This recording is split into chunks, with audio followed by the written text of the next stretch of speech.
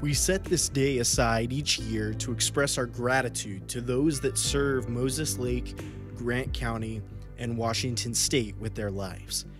Thank you to those who put yourselves in harm's way so that we can sleep a little easier at night. Thank you to those that are there for us during our darkest moments.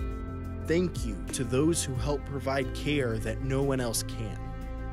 Thank you to the men and women that weigh thousands of choices each year, risking scorn and hatred from others for the sake of a better community. Thank you to those who do what's right, even if it's unpopular or comes at personal cost.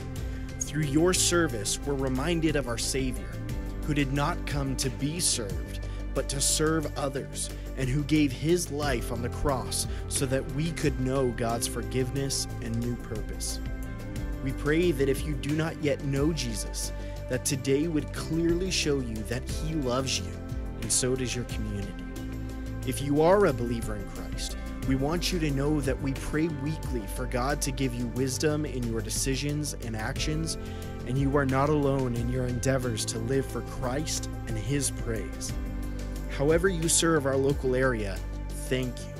God commands us in Scripture to honor those in leadership, and we hope today will be a day that you feel respected and seen by those that you've dedicated yourself to.